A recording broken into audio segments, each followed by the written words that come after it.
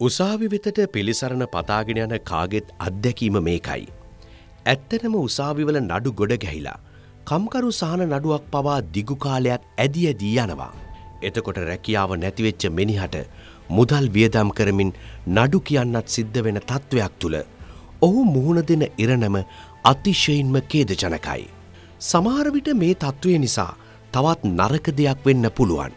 ඒ තමයි යුක්තිය පසිඳලන ආයතන පිළිබඳව ජනතා විශ්වාසය බිඳ වැටීම. ඒක කිසිසේත්ම සිතු නොවිය යුතු දෙයක්. ඊළඟට සිද්ධ වෙන තවත් අගතිදායක ක්‍රියාවක් තමයි වඩා බලවත් පාර්ශවය නඩුවේ ප්‍රතිඵලය වෙනස් කිරීම සඳහා ක්‍රියා කිරීම.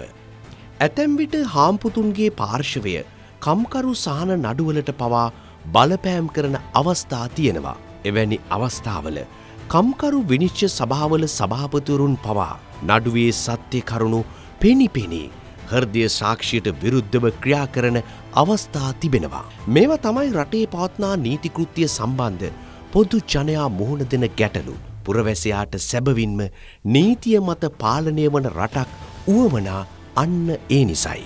බ්‍රතාන්නේ හිටපු අග්‍රවිංශකාර ටොම් බින්හැම් මෙවැනි ප්‍රකාශයක් කලා. ඔහු කිව්වේ රටක ජීවත්වන පුරවැසියන් නීතිවලින් බැඳී සිටිය යුතුයි. එමෙන්ම ඒවායේ ප්‍රතිලාභවලට හිමිකම් කිවයුතුයි කියලයි. රටේ යුක්තිය පසිදලන ක්‍රියාවලියට පොදු ජනයාගේ සහයෝගය ගන්නත් ඕනේ. ඒ සඳහා යුක්තිය පසිදලන ආයතන ව්‍යවහය පොදු ජනයා අතර විශ්වාසය ගොඩනගා ගන්නත් ඕනේ. උදාහරණයක් හැටියට දූෂණ විරෝධී කොමිසමකට මහජන පැමිණිලි ලැබෙන්නේ කාරණා දෙකක් මතයි. එකක් තමයි දූෂණ විරෝධී කොමිසම අවංකව ක්‍රියාකිරීම.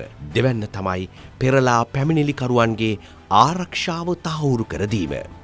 යුක්තිය පසඳලීමේ ක්‍රියාවලිය කඩිනම්ව ඉටුකරගන්න සහ නීතිකරුක රටක් නිර්මාණය කරගන්න අවශ්‍ය තවත් වැදගත් සාධකයක් තියෙනවා.